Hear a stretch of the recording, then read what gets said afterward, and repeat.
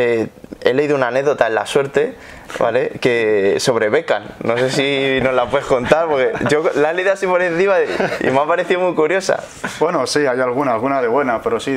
Bueno, tengo dos con Beckham, ¿eh? la verdad. ¿Qué sucedió? ¿Qué sucedió? Bueno, pues fuimos a jugar con el Depor en Manchester. Sí allí en, en Old Trafford y claro, yo pues siempre te, te gusta ¿no? estos escenarios porque los ves por la tele y de repente estás jugando allí, ¿no? Claro. Como San Siro, eh, Anfield, pues es muy bonito, la verdad que lo mejor también, eh, jugar en Europa es una maravilla, ¿no?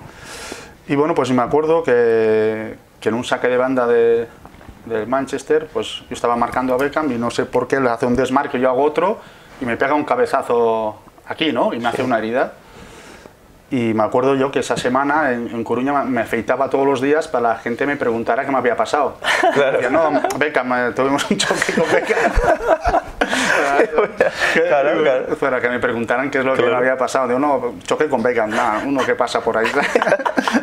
Qué Pero bueno. para, pues bueno, para vacilar un poco, ¿no? Claro. Luego otra también, que estaba estudiando inglés en, en Coruña, porque bueno, aprovechas las tardes, siempre hay que hacer algo. Yo también animo a la gente que, aunque esté en activo, que aproveche para hacer cosas, porque cuando acaba luego el fútbol te encuentras, ¿y ahora qué? Si no tengo estudios, no tengo nada, pues lo mejor sería pues eso, o que se saquen el carnet de entrenador, siguen entrenadores, o cualquier cosa, o estudien idiomas, que yo creo que hay que aprovechar el tiempo, ¿no? Y puedes estar solo centrado en el fútbol. Fundamental.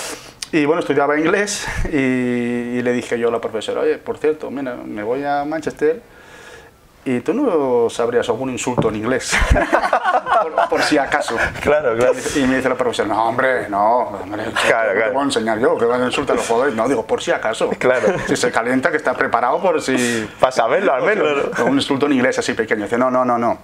Y me dijo, be careful, como, ten cuidado. Ten cuidado. Digo, bueno, vale, me- sirve.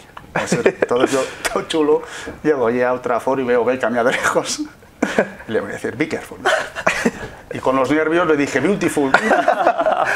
Claro. Qué manera, ¿verdad? ¿Y qué hice? ¿Qué hizo Pues una cara así, diciendo, este tío que me está diciendo.